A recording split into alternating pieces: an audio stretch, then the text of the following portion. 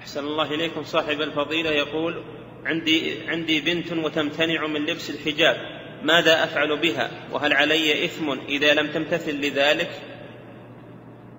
أنت وليها. الرجال قوامون على النساء. ألزمها بالحجاب واضربها. إذا أبت اضربها على هذا الأمر. أنت وليها وأنت قوام عليها. لابد تلزمها بالحجاب. هذا حكم شرعي وأنت قد ولاك الله عليها.